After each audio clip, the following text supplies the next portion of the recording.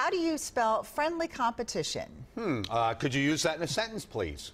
Soliloquy. S O L I L O Q U Y. Well done. Amelia and I faced off in a celebrity spelling bee in Minneapolis tonight. The organization Reading Partners put on in the event of the Surly Brewing Company to raise money to promote literacy in schools. We learned a lot about Reading Partners.